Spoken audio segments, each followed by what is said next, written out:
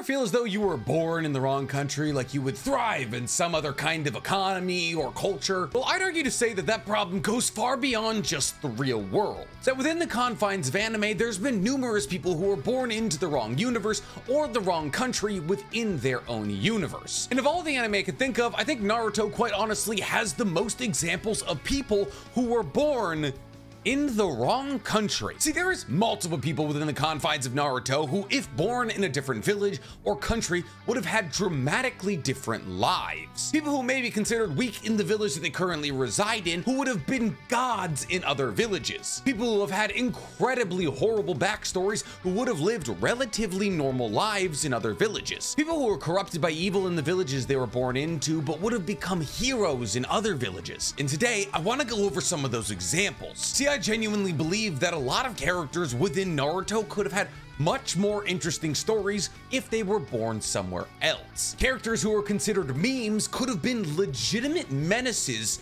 elsewhere. But before we get talking about these zero to hero stories, guys, please, for me, like this video, subscribe to the page, and hit that noti bell. And while you're at it, if you want to see me go from zero to leader of anime on YouTube, guys, you're gonna have to go ahead and follow my other YouTube channel, The Weeb Commander, where instead of talking Naruto, I talk literally any other anime. We're getting into One Punch Man now. I'm thinking about doing an Akame ga Kill video. Ninja Must Die is the closest I've ever felt to being a ninja in the Naruto world. Ninja Must Die is a revolutionary mobile game. It revolutionizes combat running gameplay by integrating side-scrolling and action all into one game. It's an action-packed mobile platforming game that features distinct ink painting visuals. Jump into the world to tackle epic bosses and solve incredible puzzles in the ninja realm. Play as characters like Kuro, a young and passionate boy who believes in the power of the ninja, with his ninjutsu Dragon Gunfire, or Dragon Flame Waltz, or Pepper, a brand new ninja recently added to the game, an energetic, hot-tempered character with explosive powers that come in the form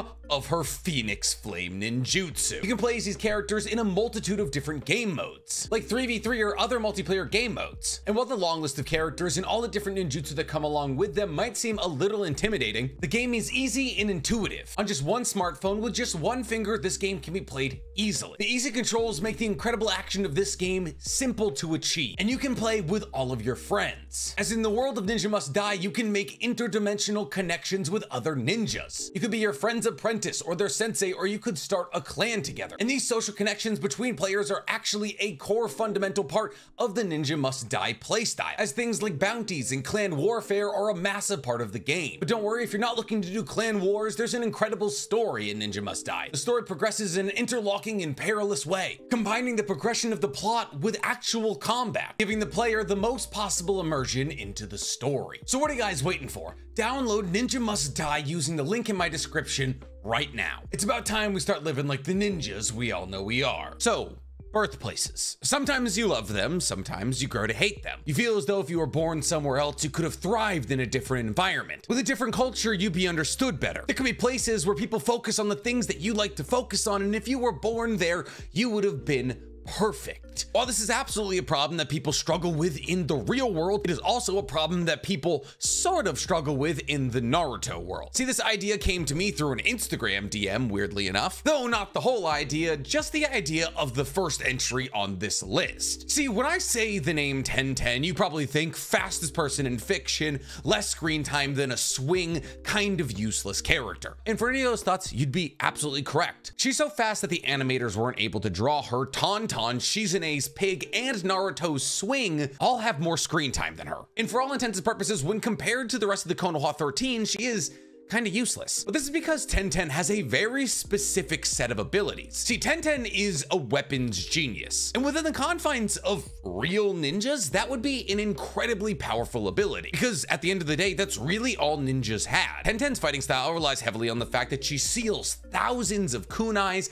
and different ninja tools away in scrolls. Tenten then unseals these weapons and hurls them at enemies. Tenten is the ninja world version of a Gatling gun, an unending volley of ninja tools fired in an an enemy relatively accurately. Because here's the thing, Tenten Shuriken Jutsu was actually rather impressive. While it may seem as though she's just firing kunai and shuriken in any direction, she's been noted several times during the manga and the anime to be incredibly accurate. But Tenten is actually a lot more than just her scrolls. Tenten has an innate and relatively rare ability to be able to master any weapon she picks up. And I mean, literally any weapon. This is fully put on display during the Fourth Great Shinobi World War. This was seen when Tenten used the Jinanda. See, the Jinanda is a massive spike ball flare with explosive tags inside of it. The explosions from the explosive tags launch the spike ball in a direction that Tenten wants to launch it, giving Tenten the ability to swing a massive spike ball flail at anybody she wants at incredibly high speeds. Tenten was able to master this relatively unwieldy and incredibly large weapon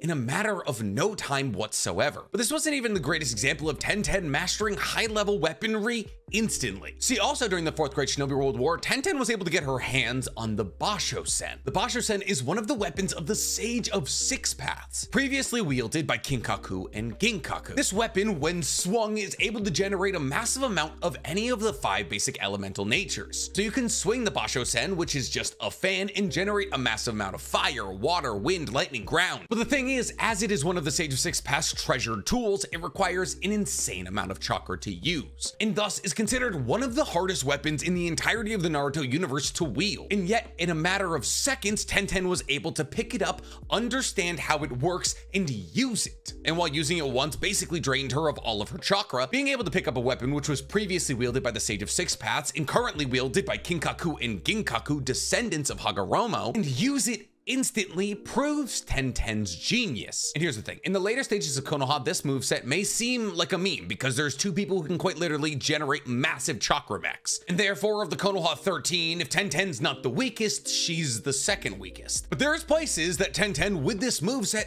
would be considered one of the strongest people in the village's history. And the best example of a place where she would be considered one of the strongest ninjas in the village's history is the Hidden Mist. See, while there's a lot of villages where weapons play a crucial role in the power of the ninja, like the Hidden Sand with their puppets or the Land of Iron with their chakra blades, there is arguably no better place for Tenten to be placed then the Hidden Mist. See, in the Hidden Mist history, the strongest warriors are elected to join the Seven Swordsmen of the Mist, which are obviously seven swordsmen who wield the Seven Swords of the Mist. And while you can make the argument that Tenten would never be considered strong enough to actually be elected to join the Seven Swordsmen of the Mist, if she were to make it to the Seven Swordsmen of the Mist, she would be very similar to two characters in Naruto's history. See, within the confines of Naruto, only two characters have tried to wield more than one of the Seven Swords of the the mist, and that was the two Hozuki brothers, Mangetsu and Suigetsu. And amongst the lore of the Seven Swords of the Mist, Mangetsu is considered to be a legend, as he was known to have collected all seven swords of the mist and wield every single one of them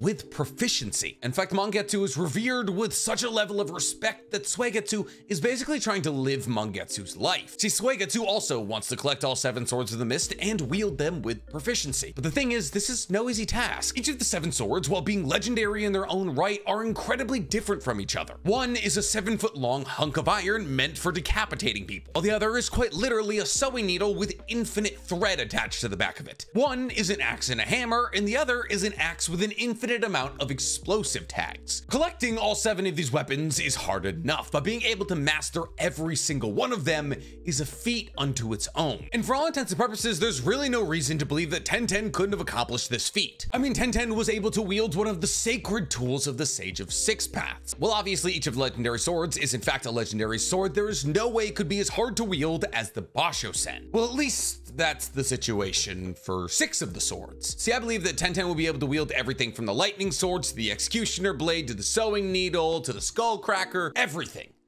except for maybe Samehada. See, Samehada is kind of a problem because Samehada has to choose its wielder, and Samehada only chooses wielders who have massive chakra signatures. Killer Bee, Kisame, and this is because Samehada is constantly draining the chakra of its wielder, using it to power itself if it's not taking chakra from other people. And considering the fact that Tenten was only able to swing the Basho Sen one time before draining her chakra makes me believe that Samehada probably wouldn't be the best fit with her. But still, if Tenten was born in the Hidden Mist, there's no reason to believe that she couldn't have A, joined the Seven Swords into the Mist, and B, wielded six of the swords, which would have put her in the same conversation as Mangetsu. And sure, would she still have most likely died at the hands of Might Dai or something like that? Yeah, but she would have been a much stronger version of the Tenten that we know today. So I can't help but feel as though that maybe she was born in the wrong village. But enough about people who were born in Konoha who shouldn't have been born in Konoha. Let's talk about people who were born outside of Konoha but should have been born in Konoha. I genuinely do not believe that there is a better example of somebody who was born outside of Konoha but should have been born inside of Konoha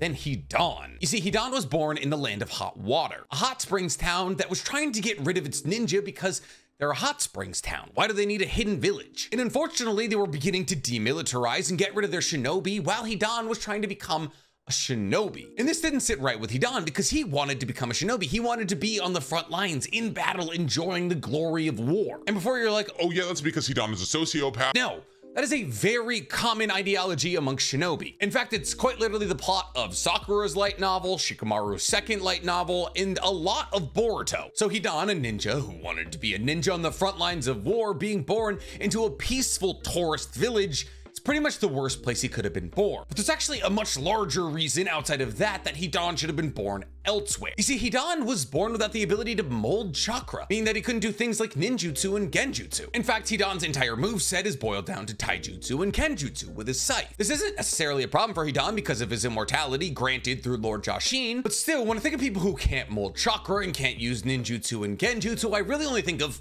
one place, and that's Konoha. More specifically, Rock Lee and Might Guy, who I know can use ninjutsu, but decides not to. See, from the days that Might Dai, Might Guy's father, the Eternal Genin, was around, taijutsu only kind of became a strategy. That was so long as you trained in the Eight Gates. The power of only taijutsu became very apparent when Might Dai quite literally killed six out of seven members of the Seven Swordsmen of the Mist. And Guy, even though he could mold chakra, decided to train in the Eight Gates in service to his father who gave his life honorably instead of focusing on ninjutsu or genjutsu. And this started a currently three generational line of people who train in the Eight Gates and don't focus on ninjutsu or genjutsu. And there's no reason to believe that if hypothetically Hidan was born into Konoha, that he couldn't have done this. He Hidan's roughly Might Guy's age, a couple years younger, and thus he most likely would have seen Might Guy growing into a powerful figure as somebody who only trains in taijutsu in the Eight Gates. A ninja who, despite his situation, is still getting to serve on the front lines and battle in all the wars. A shinobi getting to live a shinobi's dream. And thus Hidan, if born in Konoha, most likely would have ended up training in the Eight Gates. And I know what you're saying. You're saying, well, yes, but if he was born in Konoha, he never would have found Lord Jashin and he never would have got his immortality. But that's if you believe that there's actually a Lord Jashin. See, Hidan's the only Jashinist we've ever stumbled upon. In fact, in both Konoha Hiden and the Steam Ninja Scrolls, two light novels, Konoha has tried to look for other Jashinists, and while in the Steam Ninja Scrolls they have found other Jashinists, those Jashinists didn't have immortality. They were simply trying to gain the immortality that they had seen Hidan have. So my personal theory is that Hidan made up Lord Jashin to make his immortality make more sense to him, as a coping mechanism for killing all of his neighbors on his way out of the land of hot water. The reason that's important because within that theory, it states that Hidan is born with immortality, meaning that if he was born in Konoha, he would still have immortality. But even if hypothetically Hidan wasn't born with immortality, he would have got to live not only through the third Great Shinobi World War, but the fourth. And outside of the Great Wars, there also would have been a butt ton of ninja work he could have done where he could have killed and sacrificed ninjas from other villages. Would it have been the most ethically or morally great thing for Konoha to employ? Probably not. We're not gonna sit here and act like shinobi from Konoha haven't killed shinobi from other villages for decades. How they go about it really isn't that big of a deal. And yes, obviously the tenets of Jashinism imply that Hidan has to kill the people he's closest to emotionally, but just throw him in the root and send him out as an assassin. Sai has killed over a thousand people and he worked alone. Train up Hidan in the Eight Gates, shove him in the root, forget about him forever, and you have the most powerful asset in Konoha's history. Hidan would hypothetically be able to open the eight gates numerous times because while I did initially make a video about how Hidan with the eight gates would be broken, except for the fact that after he activated the eight gates, his body would just be on fire forever, somebody in the comments very smartly pointed out that the eighth gate is centric around the heart, i.e. pumping all of your body's chakra to the heart. And the heart pumps so quickly that it basically lights your blood on fire. Someone in the comments stated that Hidan could just rip out his own heart, throw it on the ground, and have a new one regenerate, and bing bang boom,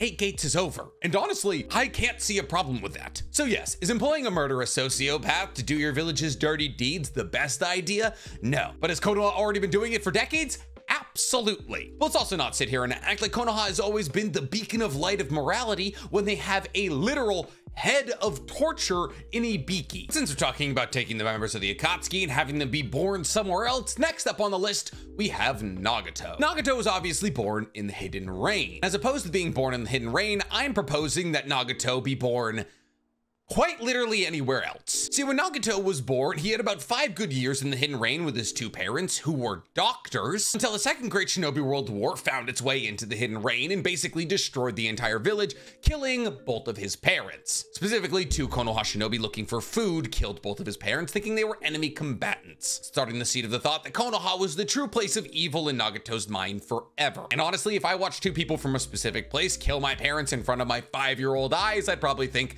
the same thing. However, if Nagato was born anywhere that wasn't the Hidden Rain, he never would have run into the problem of watching his parents get slaughtered in front of him. He also, on top of being an orphan, wouldn't have grown up in a war-torn village, led by a power-hungry dictator who would go on to kill some of his closest friends in order to hold on to the semblance of power he still had. If Nagato was born in the Hidden Stone, or Konoha, or the Hidden Sand, or basically anywhere else, there's a lot of things he wouldn't have to deal with. Now, the real question becomes, though, however, if Nagato was born anywhere outside of the Hidden Rain, would he have been given the Rinnegan by Madara? See, the reason that Madara gave Nagato the Rinnegan is because he needed somebody with massive chakra reserves that could possibly be manipulated down the line in order to hold on to his Rinnegan for him. He couldn't give them to Obito because Obito wouldn't be able to handle both of them simultaneously, and thus he gave his Rinnegan to somebody who could handle his Rinnegan in a war-torn area that might be able to be manipulated by Obito down the line thus not only making somebody who can control the Gedo statue, but also somebody who could move the Eye of the Moon plan forward for him while he was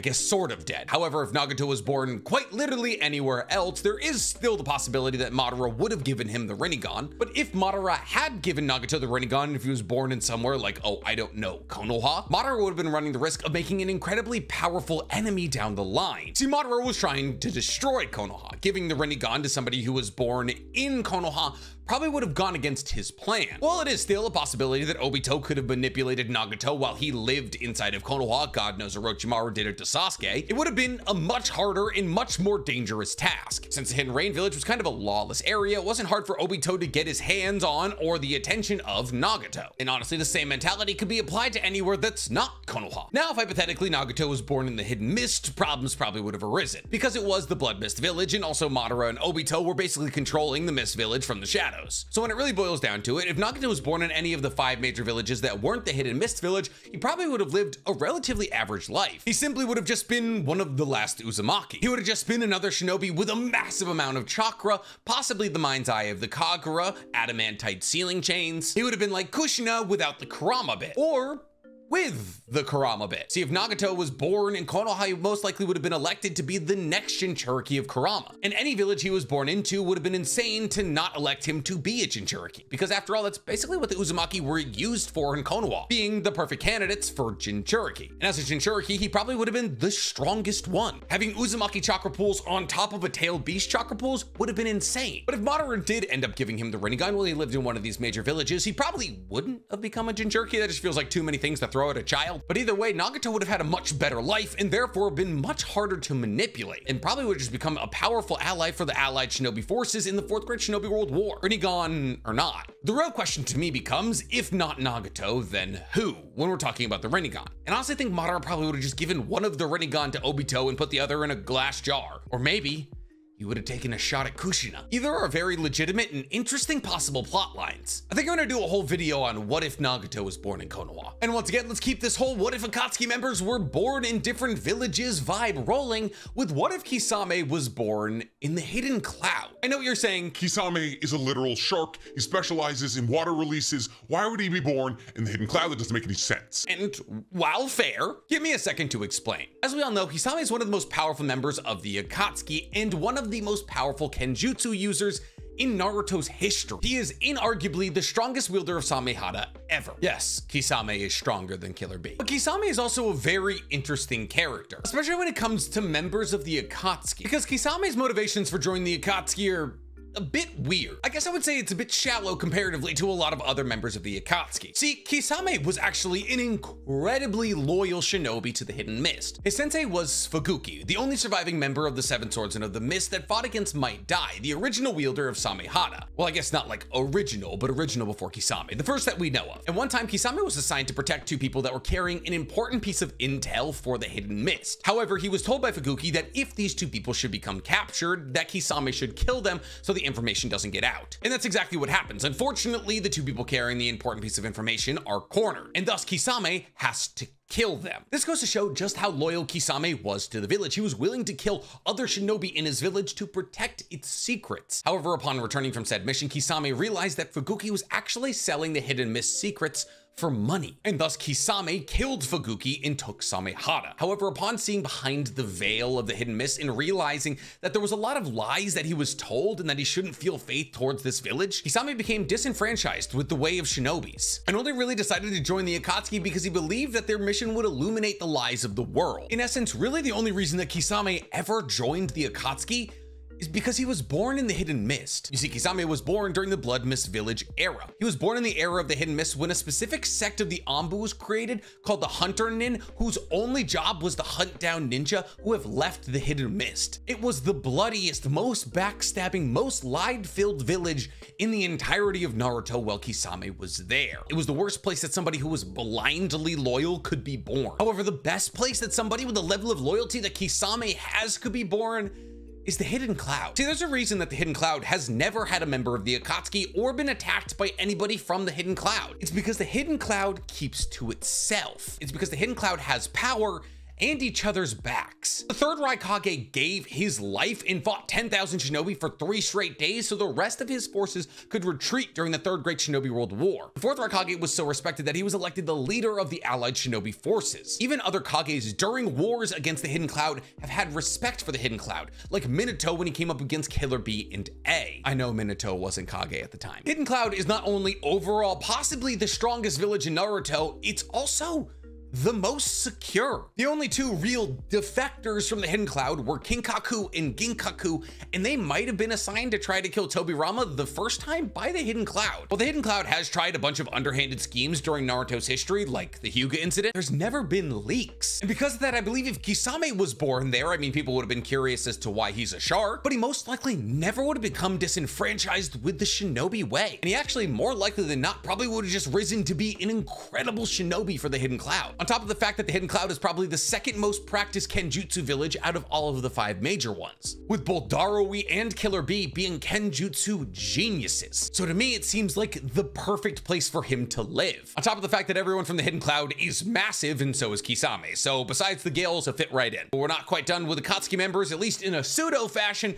because next up on our list, we have Karin. See, Karin was born in the land of grass, a village with a story very similar to that of the Hidden Rain. A small village caught between very big villages that ended up being the battlegrounds for bigger villages to have their wars on. And Karin's story is oddly also very similar to that of Nagato's, in that during one of these wars, she became an orphan. Unfortunately, as a talented orphan, she was basically cannon fodder for Orochimaru. He's got like magnetic spidey senses when it comes to finding talented orphans. And because Karin was orphaned and then found by Orochimaru, Orochimaru, she became one of Orochimaru's helpers, and therefore she eventually joined Hebi slash Taka where she would fall in love with Sasuke. As we all know, that's pretty much the worst thing that can happen to somebody in the Naruto universe. However, if hypothetically Karin was born anywhere else but a small village that was going to get trampled on by bigger villages, she would have had a very different life. See, Karin isn't inherently evil. She was just taken under the wing of Orochimaru when she had nothing else. She was on the cusp of death, an orphan running around a war-scarred village. There was nowhere for her to go and nobody for her to trust, which is how Orochimaru managed to sneak into her life. And obviously Karin doesn't have the worst life of all time. I mean, her experience with Orochimaru wasn't so bad. I mean, she still worked with him in Boruto. Orochimaru never really did anything wrong to her. He was just curious about her Uzumaki bloodline and abilities. The only real problem that arose from her time time with Orochimaru was Sasuke, using her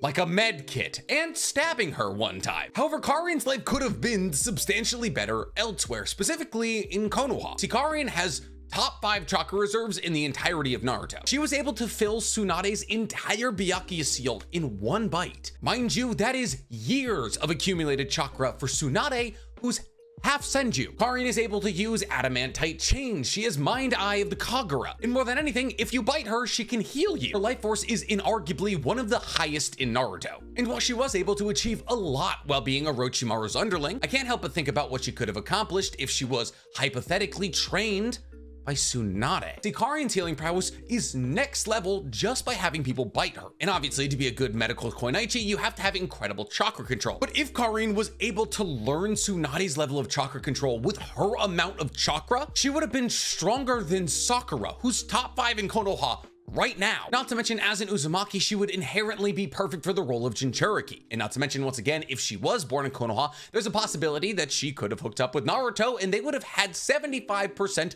Uzumaki children. I'm not saying I want that. I love Naruto and Hinata together. It's just a possibility. And not to mention, if she was born in Konoha, more likely than not, her parents would still be alive. Because there's one place worse than being born in the Hidden Mist, and that's any small village. So it would have been cool to see Karin possibly a Jinchuriki or possibly a medical Kunoichi. Either way, both circumstances would have been substantially better than falling in love with Sasuke. Because the only thing worse than being born in the Hidden Mist and a small village is being in love with Sasuke. But speaking of being in love with Sasuke, coming in at our last entry on this list, we have Orochimaru. Now, Orochimaru actually wasn't born in the Hidden Leaf. He, like Karin and Nagato, was an orphan, but he was an orphan that was found by Hiruzen, so Hiruzen brought him to the Hidden Leaf. Hiruzen then put him through the Shinobi Academy and then put him on his Genin team. Genin team of Orochimaru, Jiraiya, and Tsunade. And while for a while Konoha was a great place for Orochimaru to be, it didn't stay that way. See, Orochimaru was actually a pretty stand-up guy for a long time. I mean, he was brutish and he didn't like people a lot, but he wasn't evil. It wasn't until the Second Great Shinobi World War when Tsunade's brother was killed that Orochimaru started down the wrong path. See, one of the most widely forgotten facts about Naruto is that Tsunade's little brother was actually a part of Orochimaru's Genin squad. And upon realizing that Tsunade was both powerless to fix Dan and her little brother,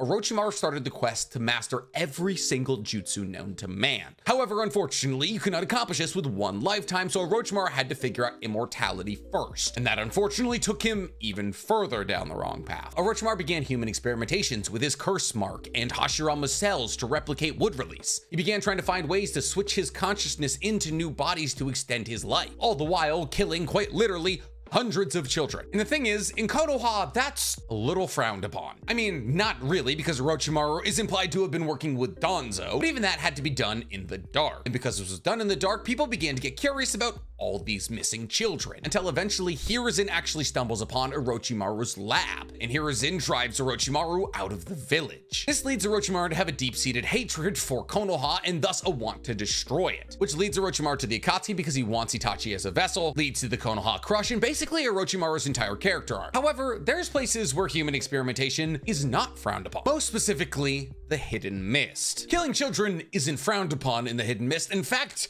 it was a pastime for a couple of decades. The Blood Mist Village saw more bloodshed amongst children than the Forest of Death. People like Zabuza killing his entire graduating class from the Ninja Academy and becoming the only graduate. If Orochimaru was born into the Hidden Mist, where he'd probably be more comfortable because if they're shark people, surely they can be snake people. Even in this circumstance, if he began down the path of trying to find all jutsus and immortality, he could have experimented in peace. In fact, the Mizukage probably would have hired him. Orochimaru most likely would have been weaponized by the Hidden Mist and probably turned into the Mizukage at one point or another. I mean, we all know that Orochimaru can run a village, the village hidden in the sound, which is a real, actual village nowadays, mind you. So while Orochimaru's character arc did finish with him back in Konoha working collaboratively with Naruto, collaboration between the powers that be and Orochimaru would have happened substantially faster if he was in the Hidden Mist. And in fact, more likely than not, Orochimaru probably would have got more done in the Hidden Mist and faster. Because one, he wouldn't be on the run from the Akatsuki because he never would have been driven out of the village.